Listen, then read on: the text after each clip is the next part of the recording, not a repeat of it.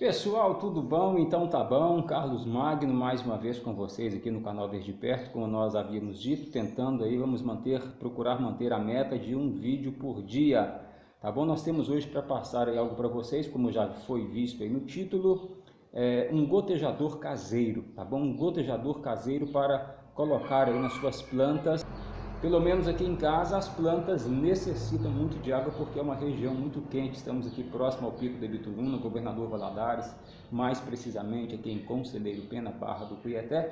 E nós então temos hoje para mostrar para vocês de forma rápida, tá? Não vou dar detalhes não, tá? E vocês vão entender e vai ficar subentendido no vídeo aí o que, que é preciso fazer. Eu não vou estar dando todos os detalhes para que você possa ter um vídeo mais curto e também com toda a, a, a eficácia também, tá bom? Mas antes disso aí, solta a vinheta, tá bom? Daqui a pouco eu volto.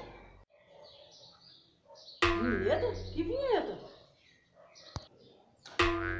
É mesmo, nós não temos vinheta, né, diretora? Isso aí, nós não temos vinheta. Obrigado, diretor, por ter me avisado aí. Verdade, eu me esqueci que o nosso canal já teve vinheta, mas hoje nós não estamos tendo uma vinheta. Já tivemos, mas agora nós não estamos tendo, preferimos até deixá-la de lado para que nós possamos ganhar mais tempo também. Isso é questão muito também individual, né? cada um é cada um, não é verdade?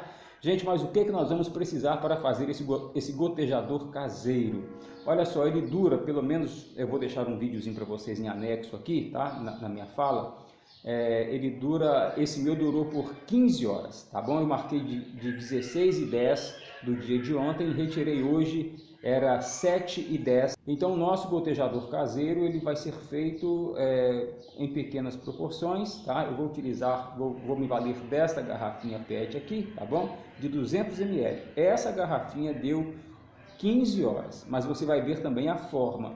É, eu vejo muita gente falando que não tem como a gente dar para vocês aí um parecer a quanto tempo gasta, porque vai depender de fato de cada frasco que você utilizar eu me vali desse aqui para ter uma base, 200 ml, tá? também de acordo com o gotejamento, pode ser que eu coloquei de uma forma de gotejamento e você vai colocar de outra forma, o meu pode ter sido mais lento, eu procurei ser o mais lento possível no gotejar, talvez você tenha uma demanda e uma necessidade na sua planta de um gotejamento maior.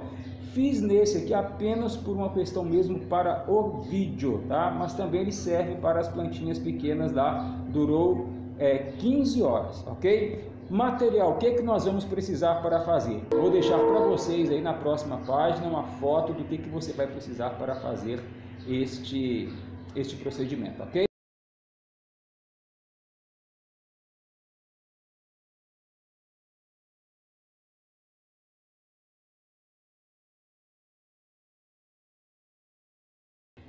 Você vai precisar de um prego, tá? um preguinho, Vai precisar também de um cotonete, tá? Que já está cortado, vou te mostrar daqui a pouco. Eu te mostrar já de uma vez, tá?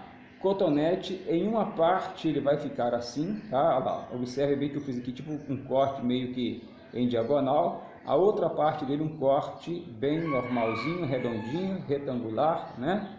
É, circular, melhor dizendo, né? não retangular precisamos disso aqui. Vamos precisar também de um palitinho de dente para controlar a questão ali das gotas, palitinho de dente. A cola, nós temos a cola universal para artesanato, ok? Tá aqui cola universal. Ou pode ser também uma cola em gel, que usa-se também em artesanato. Para que daqui a pouco eu te explico.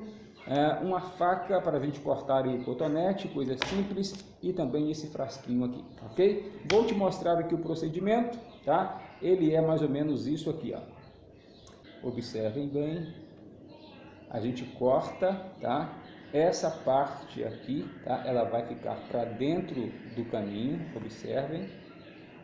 Eu fiz com um dedo de altura, tá? É bom porque talvez fique aí em algum local que possa te atrapalhar, né? Se ficar muito baixo, então eu fiz com um dedo de altura da base, tá? Vai sobrar um pouquinho de água aqui dentro, mas claro, você vai fazer em um recipiente muito maior, em um recipiente muito maior e vai ficar então algo também melhor para você. Viu aí? A gente vai introduzir, vai fazer um buraquinho com prego, ok? Faz um buraquinho com prego aqui. Depois apenas você vai apenas colocar essa parte primeiro aqui dentro, com esse biquinho para cima, ok? Vai ficar aqui, vai ficar desta forma. Aqui então, eu vou deixar o vídeo para você ver como é que funciona o processo. Você vai anexar isso aqui, tá? Para que você, é claro, já tá, fica muito grande, corte isso aqui, tá? Corte pela metade, ok? Corte pela metade para ficar mais ou menos desse tamanhozinho aqui.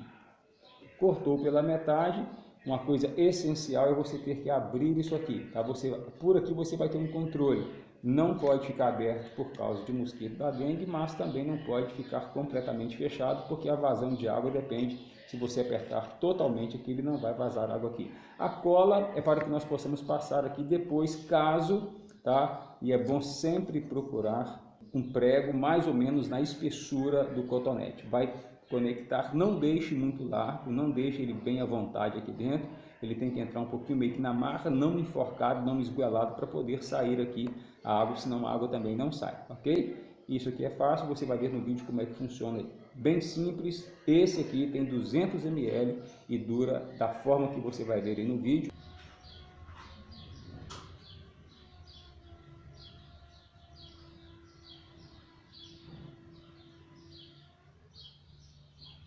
Ele dura 17 horas. 200 ml você vai fazer então as contas para ver quanto é que um de 1 litro, de 2 litros, de 5 litros que você possa eventualmente usar nas suas plantas vai durar aí, ok?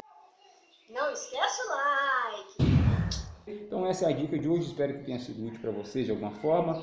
Espero que vocês curtam, tá? A diretora já deve ter passado aí com o seu like. Né? Nós vamos estar então mostrando para vocês outros vídeos, passando outros vídeos com outras matérias, com outras coisas importantes aí para que você possa ter acesso aqui no nosso canal. Tá bom? Inscreva-se, não se esqueça. Então, pessoal, valeu, é isso aí. Fiquem todos com Deus. Muito obrigado pela atenção de vocês. Obrigado pelos mil likes, tá? Show de bola. Depois eu volto falando mais sobre alguns sorteios que nós pretendemos fazer. Solta a vinheta, fiquem com Deus. Abraço, fui!